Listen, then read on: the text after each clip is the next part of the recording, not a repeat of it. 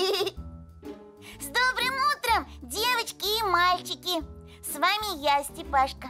Вы смотрите главную рубрику о русском языке «Слова-ловушки». Заметили, какой я сегодня деловой? Хм, галстук надел. А все потому, что сегодня я расскажу вам про очень деловые слова. Сложные и взрослые. Но как их писать и как произносить, должны знать даже дети. Итак, первое слово – факсимиле.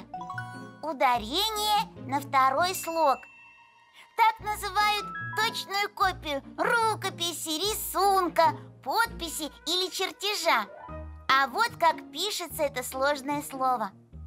Факсимили. Следующее деловое слово – договор. Называют письменное или устное соглашение людей. Например, о правах и обязанностях или покупке и продаже. Пишется слово так – договор.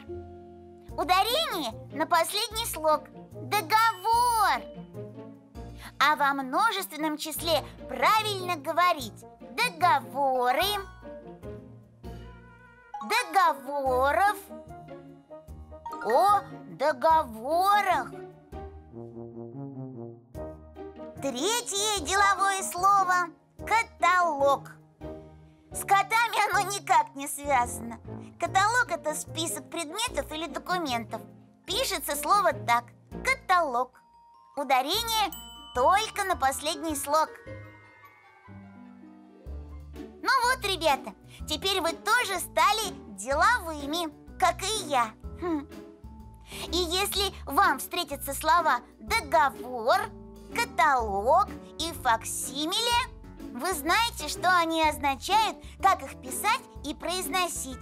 Не попадайтесь в ловушки и не пропускайте наши выпуски, если хотите знать больше о русском языке. До новых встреч на канале Карусель. Пока-пока!